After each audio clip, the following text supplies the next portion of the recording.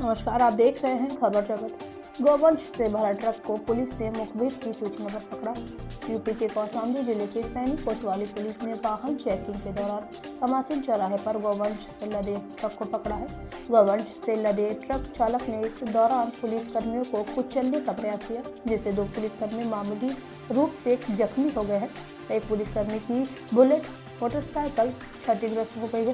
Police ने truck चालक व उसके एक साथी को हिरासत में लेकर डेढ़ दर्जन गौवंश बरामद किया है। सैनिक कोतवाली पुलिस बुधवार की सुबह नेशनल हाईवे टू के कमासिन चौराहे पर वाहनों की चेकिंग कर रही थी। उसी समय कानपुर की ओर से एक ट्रक आता देख पुलिस कर्मियों ने उसे रोकने का इशारा किया। ट्रक चालक पुलिस कर्मियों के नज़दीक आकर उन्हें टक्कर मारकर भागने लगा। इस दौरान एक पुलिस कर्मी की बाइक ट्रक की चपेट में आ गई। ट्रक में फंसकर बुलेट बाइक काफ़ी दूर तक झिझकती चली गई। पुलिस कर्मियों ने पीछा कर ट्रक को रोका और चालक व उसके साथी को हिरासत में ले लिया।